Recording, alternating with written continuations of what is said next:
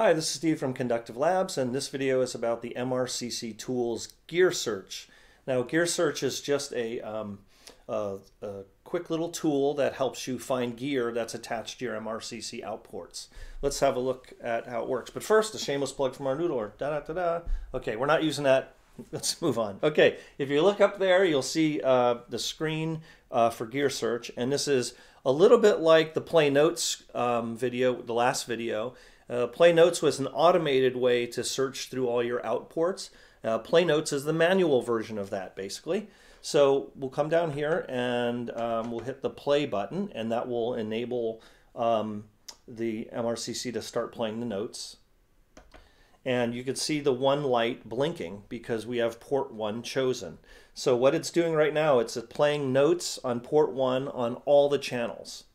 So if I want to go down to change that, I just tab down there, and as I scroll the knob, it'll go to the different the different uh, ports. So if I go to port 3, we'll start hearing the Volca FM make noise. I'll turn it down a little bit. Now, this is telling me that there is a, um, a Volca, by my hearing, I can hear that the Volca is being played but I still don't know what channel it is because it's playing on all channels. So I can come down here and I can change this. And if I go to 1, I see it's still working. So it's likely to be on channel 1. If I go to channel 2, I stop hearing it and I can go all the way up through 15.